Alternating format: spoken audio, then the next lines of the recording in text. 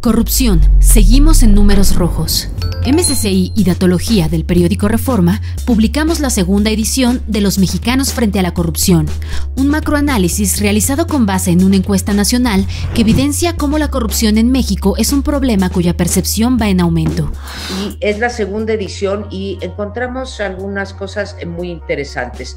Y no solamente me voy a fijar en la encuesta de Reforma, pero la percepción sobre corrupción poquito, pero se ha elevado, a pesar del machacón discurso del presidente López Obrador.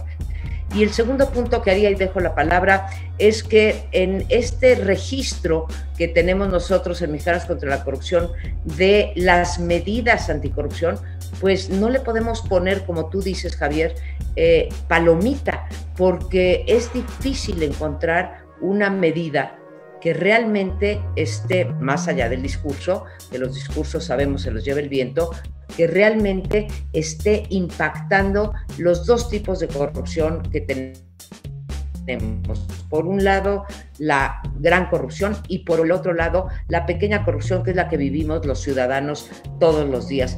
En ese sentido, creo que la calificación es reprobatoria y lo confirma nuestra encuesta, la que sacó ayer o anteayer Reforma otra vez y la que han sacado otros eh, medios donde también nos indican que pues eh, si bien tiene una gran aprobación el presidente López Obrador, no la tiene en sus políticas públicas y entre ellas está la de la corrupción.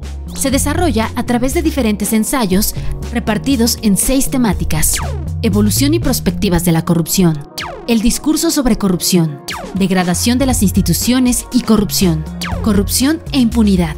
Desigualdad y el costo de la corrupción. ¿Cómo afecta la corrupción a las mujeres? Y en otros temas que hemos seguido cautelosamente, publicamos cómo los convenios de Liconza por hasta 4 mil millones de pesos involucran a personajes ligados a Movimiento Ciudadano, partido que en 2012 impulsó la candidatura de Andrés Manuel López Obrador, pero que en años recientes se ha presentado como un partido opositor al presidente de México. Asimismo, el empresario Alejandro Puente Córdoba negó ser dueño de la empresa que recibió los contratos de Liconza. Y en el tema de Emilio Lozoya, el exfuncionario entregó pruebas que ya estaban en poder de la Procuraduría General de la República, hoy Fiscalía, desde septiembre de 2018. Te invitamos a leer estas publicaciones en nuestro sitio web y a revisar nuestro resumen de noticias en contralacorrupción.mx diagonal cuentas claras, el newsletter de Mexicanos contra la Corrupción y la Impunidad.